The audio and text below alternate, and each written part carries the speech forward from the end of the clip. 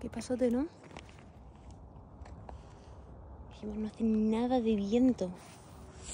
¿Queréis ver la manga del Mar Menor? Esa aberración. Que nadie me pregunte si me gusta la manga, ¿eh?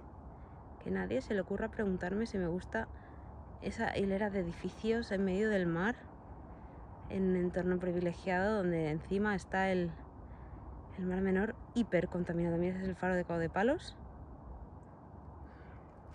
Vamos a hacer una ruta endurera por todos esos montes de Calblanque. Qué desastre. Es que mira, es que es muy curioso, ¿no? Aquí toda esta zona, toda esta sierra minera destrozada, contaminada, con todos los sulfuros machacados, aquí todo el mineral, aquí todo destrozado, roto.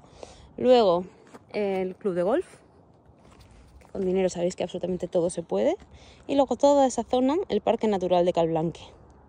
Luego el Mar Menor, hipercontaminado, y luego todas estas zonas de cultivos, ¿no? Todo el campo de Cartagena con todas las aguas de, de escorrentía que pasan, porque como se han cargado todos los acuíferos, el agua de los acuíferos ya no se rellena, sino simplemente eh, el agua de escorrentía pues va al mar, lo contamina todo con los con todos lo- los nutrientes que, que sale del campo, eh, ramblas reventadas, acuíferos reventados.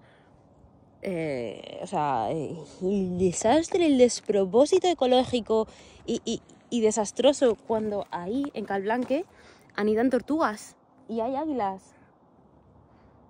O sea, una pena.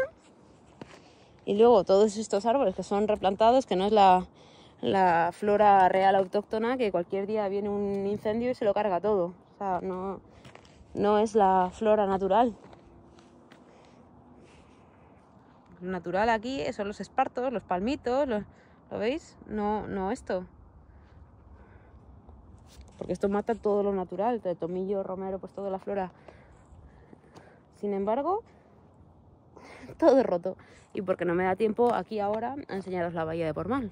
Porque si buscáis información acerca de lo de la bahía de Pormal, eso ya es un... Vamos, dan ganas de llorar, de llorar. Sí, pero luego las motos erosionan, ¿sabes? Las motos erosionan, ¿sabes? Mira, es que eso, eso seguro que lo han hecho las motos, ¿verdad?